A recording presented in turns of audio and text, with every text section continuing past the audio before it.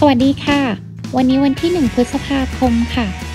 ตรงกับวันแรงงานในฝรั่งเศสนั่นเอง ตื่นมาก็เซอร์ไพรส์นะคะ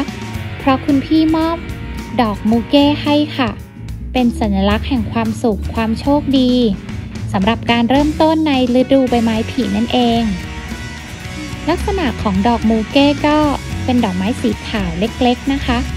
ที่มีรูปร่างเหมือนกับระฆัง น่ารักมากเลยบองเฟตเดทาวายค่ะ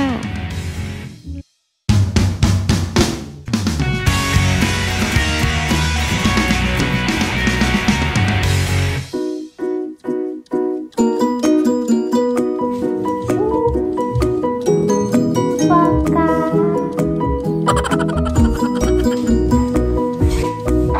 นอกจากจะหลง คนฝรั่งเศสแล้ว ยังหลงรักผลิตภัณฑ์และอาหารของฝรั่งเศสเช่นกันค่ะ ขาดไม่ได้เลยคือวอร์กาทานทุกเช้าค่ะกับขนมปัง รู้ว่าอ้วนอะแต่ก็ชอบนะ ขาดไม่ได้ เพราะว่ามันอร่อยจริงเป็นตับห่นที่แบบละมุนลิ้นฟินมากอ่าโฟกากับบูตัน จะเป็นของชอบที่มาคู่กันเลยลิสชอบมาก ลองทานดูนะคะโฟกายี่ห้อเดลักหาซื้อง่ายมากค่ะในกาฟู